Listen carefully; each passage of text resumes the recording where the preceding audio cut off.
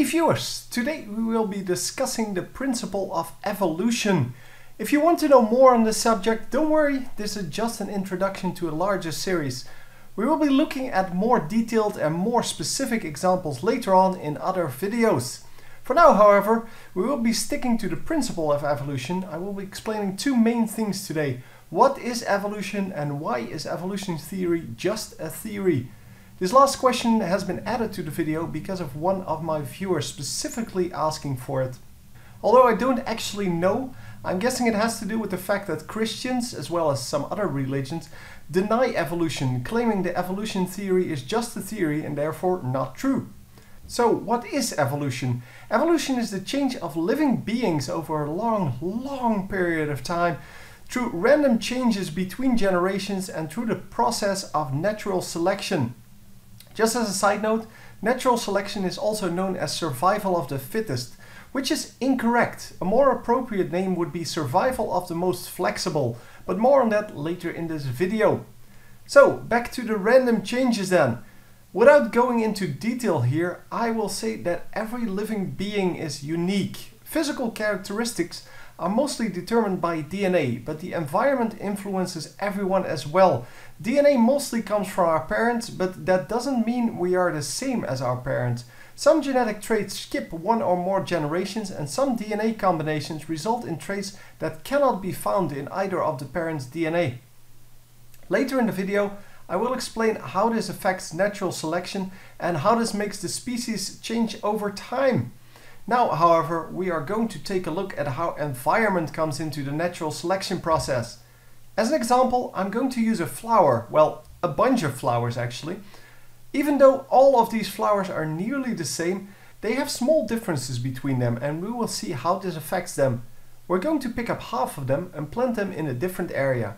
Since the first group was planted in a sunny meadow, we're going to plant these on a cold mountain. So what will happen? The left group of flowers will bloom and make seeds, just like they always do. The group on the right, however, will mostly die before they can make seeds. However, some of them will survive. These flowers will make seeds as well. The next spring, the seeds will become new flowers. In the left side group, the flowers will be pretty much the same flowers as they were in the previous year. On the mountain, however, only the flowers that survived the cold made seeds and therefore the new generation of flowers will be more cold resistant than the last generation. Once again the left group will make seeds for the next year and once again a lot of the right group will die to the cold before making seeds. In spring the left group will once again be the same but the right group will now consist of flowers with even higher cold resistance. Over many many generations the flowers on the right will change to survive the cold climate whereas the flowers on the left will not change at all.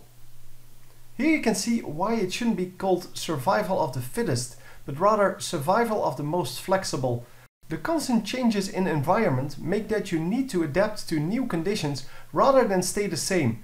You survive by adaptation. Okay, back to the random changes between generations then, and how natural selection comes into this.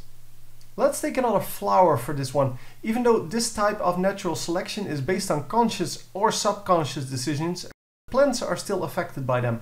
Let's say we have a field of yellow flowers and a bee. To the bee, the flowers look like this. At some point, due to random change, one of the flowers becomes a little more orange one year. Although it doesn't seem like a big deal to us, look what it does to the bee's vision of the flowers. The new flower color, orange, is much more appealing to the bee and he will therefore choose to pollinate that flower instead of the others. This means that the next year there will be more orange flowers and less yellow flowers. As years go by, the yellow flowers might actually become extinct and the orange flowers will take their place. Finally, we get to the second question that I wanted to answer. Why is the evolution theory just a theory? Why the uncertainty? Evolution itself is a fact, there's no denying it. It is a fact that living beings change based on random changes, their environment and due to natural selection. That's not where the uncertainty is coming from. The why it happens precisely and why certain species need to adapt more than others, that is still open for debate however.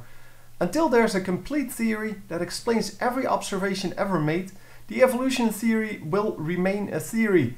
As said before, this doesn't mean evolution is in doubt. It just means that we aren't sure about the details of the why and how. Keep in mind that gravity is also a theory. We know two objects attract each other, but as of yet we don't know why the objects attract each other.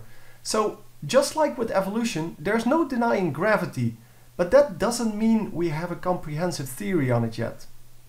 I hope you learned something today, and I will see you next time.